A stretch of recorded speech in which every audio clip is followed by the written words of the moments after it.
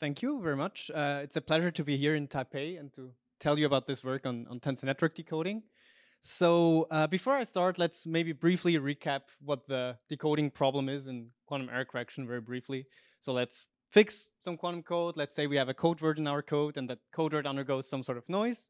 In order to recover the quantum information, what we typically do, we do some sort of syndrome measurement on that noisy code word, which gives us a syndrome bit string, which we pass as input to some classical algorithm, which we call the decoder. And that classical algorithm tries to figure out what sort of correction operation we should apply in order to hopefully get back to our original code word. So today I'm going to focus on that classical decoding algorithm. And I'm going to show how you can use tensor networks to do this. And very broadly speaking, when we evaluate the decoding algorithm, we usually do it according to two criteria, you could say. One of them is speed and the other is accuracy.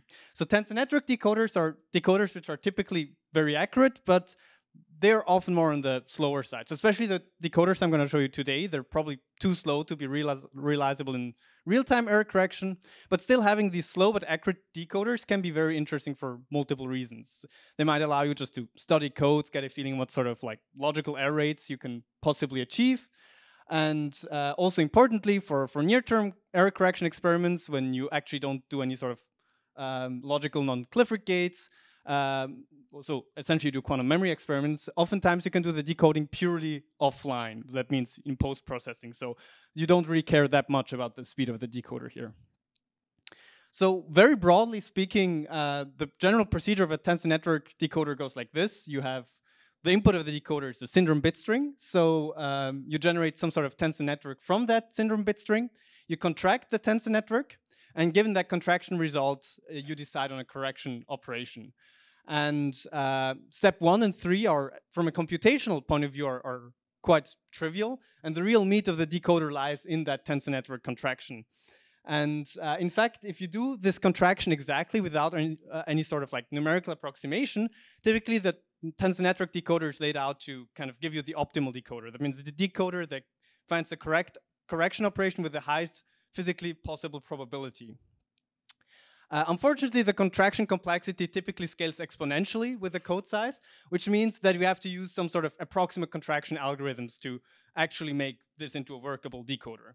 And, uh, but this is the only heuristic in the decoder. In a certain sense, compared to other decoding algorithms, like maybe matching or belief propagation, it's a heuristic you can control much more because you can, at least in principle, make the approximation error as small as you want. So one more comment, the tensor network that we're gonna observe uh, using our decoder is gonna follow the locality of the underlying code, right? So if you start with a 2D local code, like a 2D surface code, the resulting tensor network is gonna be some 2D local tensor network. And similarly, if you have like a 3D surface code, you will end up with a 3D kind of tensor network. So why am I stressing this difference between 2D and 3D here? Let me say something about previous work on uh, tensor network decoder. So they've been around for a while. I think um, there's a paper by Poulin and Ferris in 2013 that first talks about the idea, and then Sergey Bravyi in 2014 introduces the tensor network decoder for the 2D surface code. Uh, subsequent works have generalized the kind of idea for arbitrary 2D local codes. And essentially what these works observed is that if you kind of take the standard approach for approximately contracting these 2D tensor networks, it works amazingly well just out of the box. You essentially get the optimal decoder. So here I have a, a table which I took from Chris Chubb's work, and he shows like various thresholds for like various surface codes and color codes with different kind of uh, noise models, and almost everywhere he gets like very, very close to the optimal thresholds using his tensor network decoder. So the 2D case is really a success story. Uh, why has there been very little work uh, that focuses on 3D codes yet? Well, the reason is that the approximate contraction of three-dimensional tensor networks is in practice something that is much harder to get to get well and it's still a much more active uh, topic of, of research. So if, if 3D is harder to deal with, why, why should we bother? Why should we go through these extra hoops? So, well, first of all, you might just be interested in, in studying three-dimensional codes, obviously, and maybe much more importantly, uh, in even though we use many people use 2D codes in practice and in, in, in experiments, when you actually do experiments in reality, the, the syndrome extraction circuits themselves are, are noisy, right? So you can't trust the syndromes that you get out of your experiment. So the way how people often deal with that when they have 2D codes is they repeat the syndrome extraction circuits many, many times. And the resulting decoding problem that you get is not a 2D problem anymore, it's a 2 plus 1D problem. So you get a, some sort of 3D tensor network.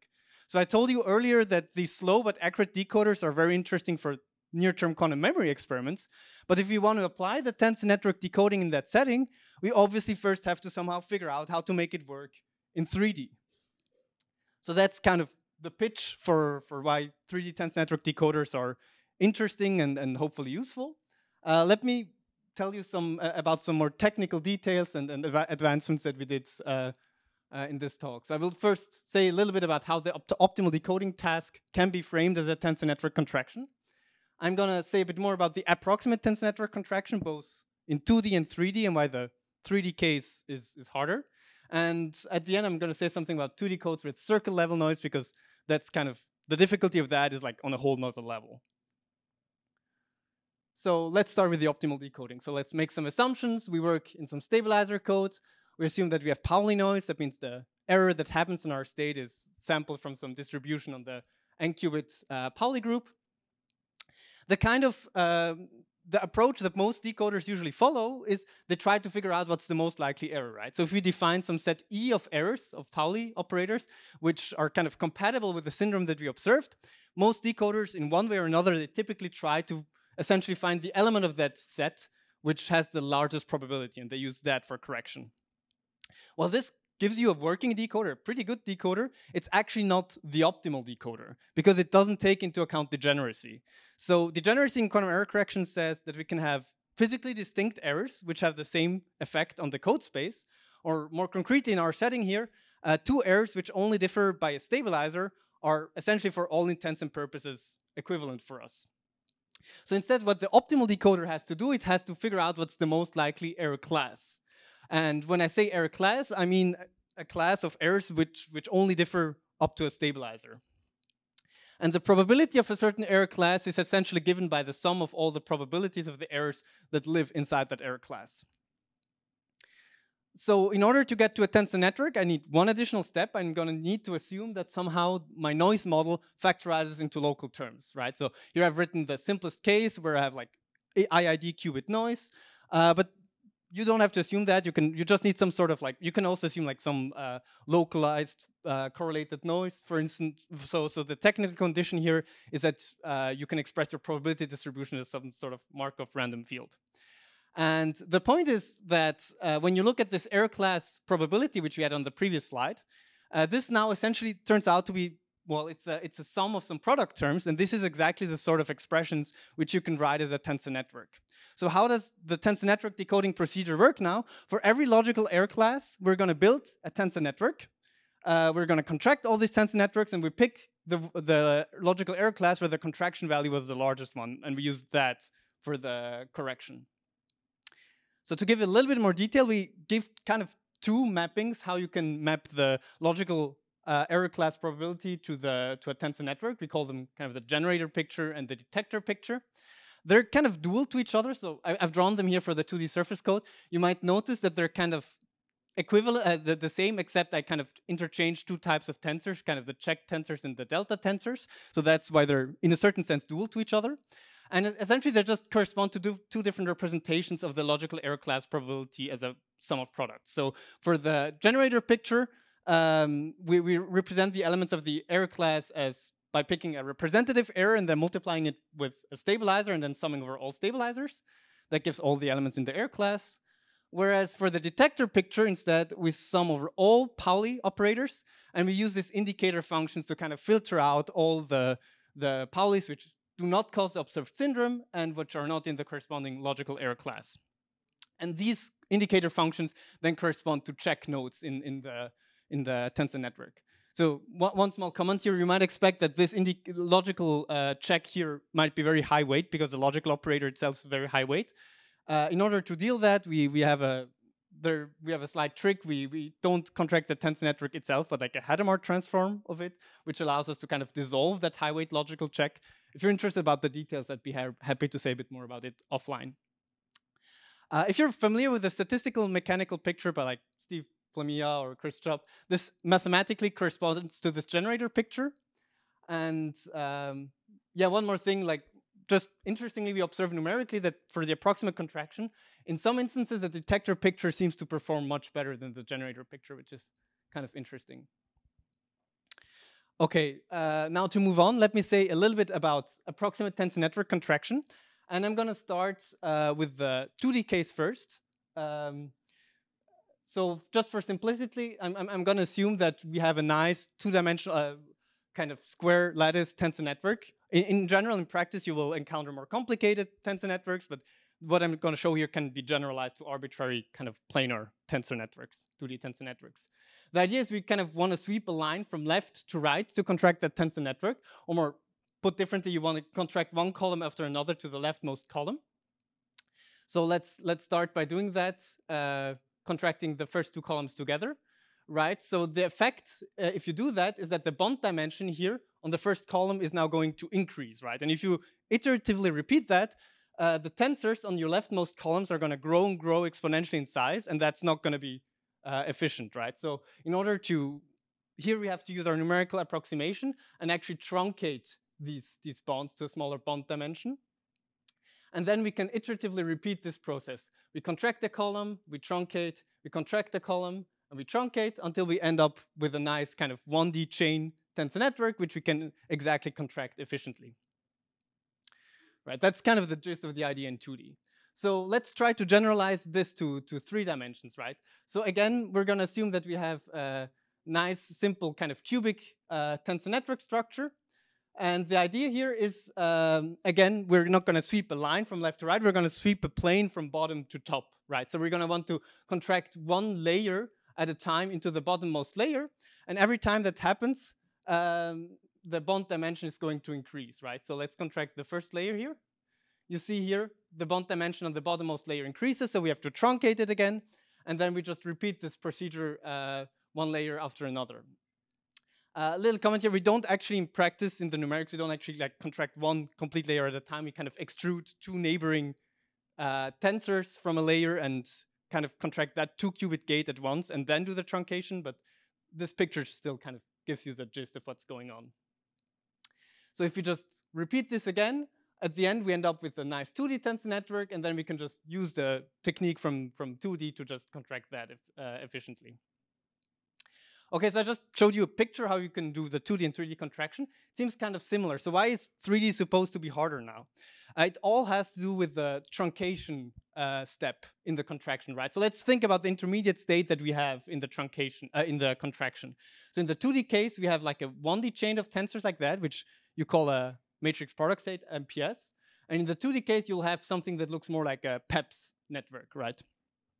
So if you take now a, a, a bond in that MPS and you want to truncate that, the way uh, there, there's a very uh, it's it's actually very clear how you want to do that optimally, right? You can think of that bond kind of separating your MPS into two distinct subsystems, and then the the, the truncation can be framed as, as essentially wanting to find a low rank approximation of a certain matrix, and it's very well known how to do, do that. You essentially use a truncated singular value decomposition, and you can do that numerically very efficiently. Whereas if you try to play the same game on your PEPS network on the right, if you cut one single edge, it doesn't actually separate your tensor network into two bipartite systems. So it's not exactly, it's, it's much harder to actually find what the optimal truncation will be here. So another way to think of it, if you have a kind of correlations between two sides in your PEPs, there's actually many, many different paths ac uh, across which these correlations can kind of be mediated. So just uh, as, as without going into too much detail, the, the method that we end up using in our numerics to kind of deal with the truncation uh, in the 3D case is we use something called the simple update method in the tensor network literature. The idea is essentially that for every kind of site in our PEPs, we keep a rank one uh, approximation of the environment living on the bonds connected to that site. Uh, and this rank one approximation of the environment allows us to have a truncation which is at least a bit more uh, motivated, a bit more well-behaved. So just to give you some numerics, we tried uh, this tensor network decoder on the 3D surface code for bit flip, phase flip, and depolarizing noise. You might notice bit flip and phase flip here are different. The reason is for the 3D surface code, there's no kind of symmetry when you exchange X and Z. So the bit flip case is when you have kind of weight six stabilizer, so the, the point sector, and we compare the tensor network decoder with matching. Uh, and matching realizes the minimum weight uh, decoder here, so the optimal decoder without degeneracy, so to say. And you see that we can significantly outperform matching. We don't actually get the optimal threshold, that would be around 3.3%, but we're like somewhere in the middle between matching and the optimal threshold. For the phase flip noise and the depolarizing noise, we, we compare with the state-of-the-art decoders, which I believe in both cases are BPOSD. And in both cases, we, we, we outperform the, the, the, state of the art. You might notice in, in the flip noise, it's also known that the optimal threshold is around 23%, and our crossing seems to be a bit more in line with that. Okay, so time is going forward quickly, so let me say something about uh, decoding 2D codes with circuit level noise. So as I mentioned earlier, right, we have to repeat the syndrome measurement circuit many, many times. And we want to kind of keep track of all possible faults that can happen during those syndrome extraction circuits and also how the circuit kind of spreads faults around. So in this setting, just mathematically defining the optimal decoder is already quite a, a tricky task. Um, so in order to do that, we use the formalism, uh, the detector error model formalism, or some people also call it the decoding hypergraph formalism. And essentially, the, the, the point here is that this allows us to kind of reduce the decoding problem or express it as a decoding problem of a classical linear code, which then again allows us to apply the tensor network formalism. So if you just do this for a simple 5 by 5 rotated surface code with five rounds of repetitions, we get a Lovecraftian horror looking like thing like this. Um, so it might look like there's no structure in here. There's actually structure, it's just, just so many nodes that you don't see it. And the reason is like we have to uh, take into account every possible location in space-time of our circuit where a fault can happen. And for every such possible fault, we look at the combination of, of syndromes that get triggered by that fault. And for every such combination, you have to add a tensor to that tensor network. So if you try to contract this with the sort of method I showed previously, this is just like flat out completely gonna fail. So we need some additional tricks to make this work. So what we ended up doing is we kind of pre-compress that very complicated tensor network into a much simpler form, into a cubic lattice, where every side of that cubic lattice kind of corresponds to a syndrome measurement in, in, in kind of space-time. And uh, the idea here is uh, that we, we take kind of all the nodes which do not lie on that cubic uh, lattice, we kind of snake it along the cubic lattice and then include those snake tensors into the uh, lattice tensors. And if you do this, this will like increase the bond dimension of, of, this, of this tensor network here on the right like immensely. So in order to deal with that, we again have to truncate the bonds where we again use this simple update methods.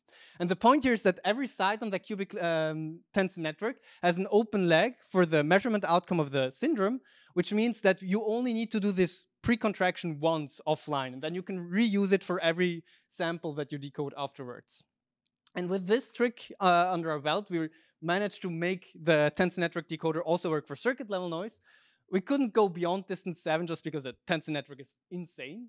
Uh, but uh, we still managed to beat matching at least uh, quite convincingly in, in, in, that regime. Um, okay, so let me get to the, to the outlook. Uh, so we, we managed to make the 3D tensor network decoder work, um, but it's, it's not perfect. So as you've seen, uh, we still don't we don't reach the optimal threshold everywhere, right? So there's some accuracy issues. Also, if you go like beyond starting like from distance 13-ish, you really start running into like speed and, and, and stability issues. And uh, it should be said that the kind of approximate contraction scheme that we use, it's, it's one of the simplest actually. There's probably smarter things out there you could do. And uh, we're, we're trying to, to well, look with more, with, well, we, we, we think that with, with more advanced methods, probably the speed and the accuracy can be significantly significantly improved. So to a certain degree, I would say that this result could be should be taken as a proof of principle. And hopefully in the future, this sort of like 3D tensor network decoders will allow us to, well, first of all, probe the importance of degeneracy in 3D. So especially for circuit level noise, as far as I understand, the importance of degeneracy is not uh, very well understood. And also, uh, obviously, we, we want to just have a very accurate decoders, so uh, experimentalists can use that for their quantum memory experiments. Okay, that's all I wanted to say. Thank you very much for your attention. I'd be very happy to answer your questions.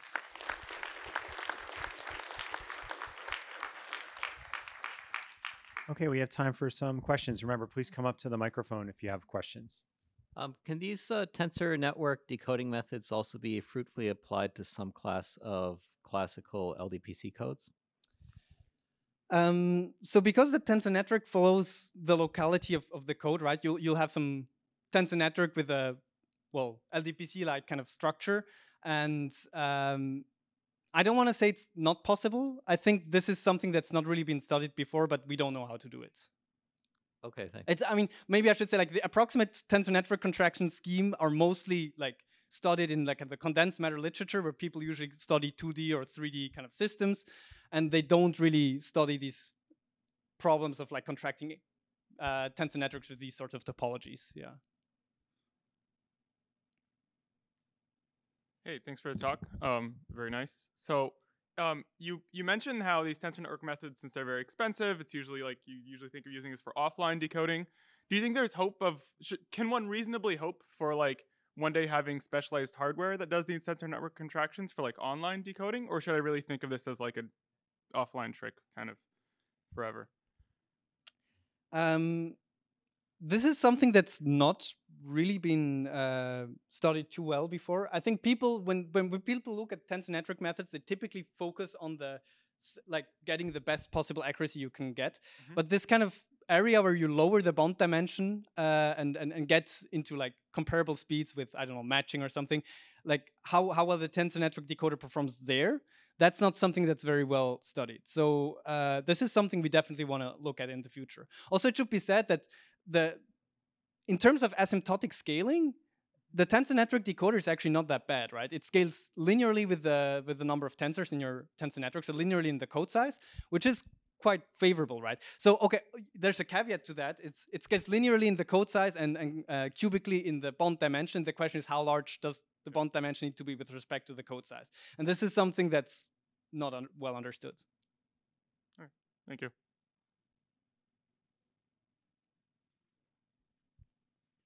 In, in your circuit level simulation, do you simulate the memory time that there may be residual error between um, error correction cycle to next cycle?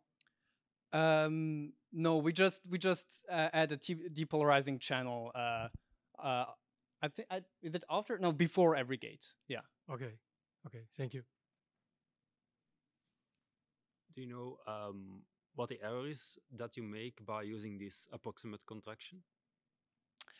Um, you you mean whether you can bound that error or um, so you you can you can.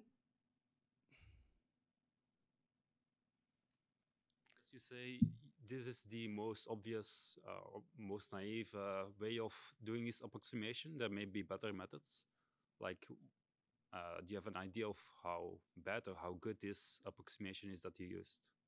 Well, I mean, as in with all numerics, typically what you just do, you just increase your bond dimension up to a point where it converges, and then you you you you assume that it's like good enough. You don't in, in, in practice you never actually prove that your error is smaller than a certain thing. I think you could do that in practice.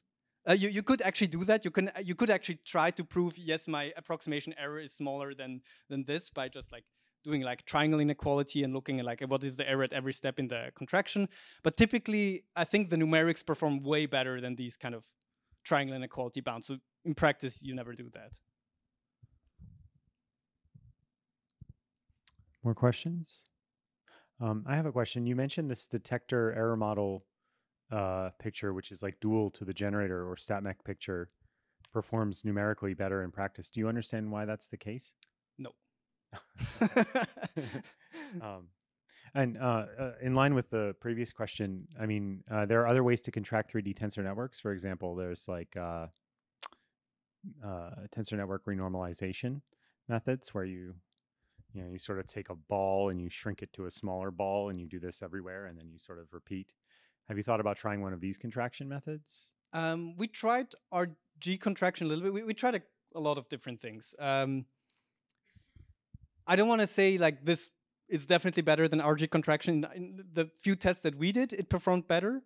Uh, but maybe there's ways to make the RG contraction work better. I mean, there, there's so many tricks you can do. I mean, like just just like gauging the the kind of PEPs, you can do like belief propagation gauging. There's like so many things you can do. We we tried like for a few months, like a lot of different things what worked best, and this is what we ended up finding at the end. But like I'm, I'm convinced if like someone with like more tensor network experience would, would have a crack at this, it would probably like improve it significantly. Yeah.